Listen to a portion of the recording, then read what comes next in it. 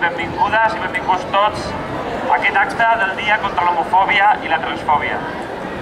Aquest, aquest acte i uns altres que tindran lloc avui i els següents dies estan organitzats pels col·lectius Actosó i Broadboard.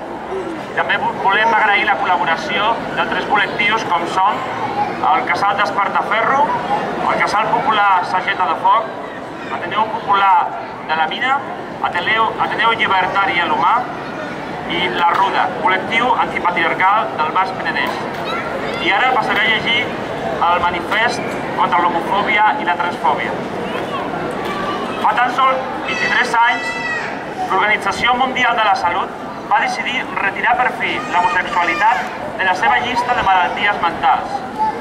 No podem dir que hagi fet el mateix encara avui amb la transsexualitat. Però no només per demanar sortir d'una llista, treballem i sortim al carrer i ens visibilitzem. Ens visibilitzem per totes aquelles lesbianes invisibles i reivindiquem que totes les dones que ho necessitin puguin accedir a la reproducció assistida sense processos discriminatoris ni retallades. Les retallades no ens afecten només per tindre criatures. Com a treballadores i aturades estem patint l'atac més flagrant a la nostra dignitat com a persones per part d'un sistema capitalista que ha demostrat que no funciona. No tenim feina i les que en tenim, els sous són, són precaris i no ens permeten accedir als serveis cada cop menys públics i menys universals. Això li hem de sumar que per moltes declaracions de bones intencions, la homofòbia, la lesbofòbia i la transfòbia segueixen existint segueixen existint sobretot quan en molts estats del món s'aplica la discriminació de moltes maneres diferents, arribant a prohibir el dret fonamental a la vida, mitjançant la pena de mort. O també quan les institucions religioses i les que difonen el seu missatge suposen el matrimoni entre persones del mateix sexe. En aquest sentit, ens hem de felicitar de la victòria obtinguda arreu dels països catalans.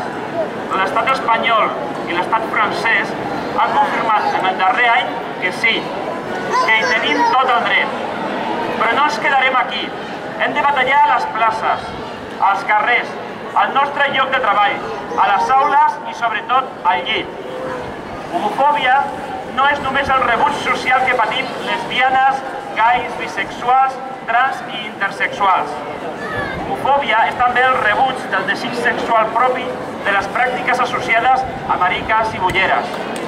Qui es consideri heterosexual haurà patit, des que ha nascut, els rols dictats per una societat heterosexista que divideix les persones en homes, dones, gais i lesbianes i no deixa anar més enllà.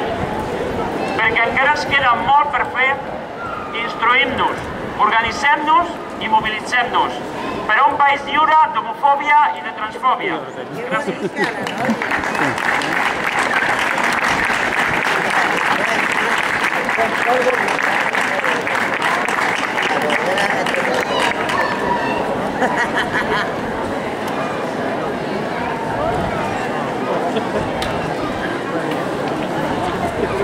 Us agraïm la assistència.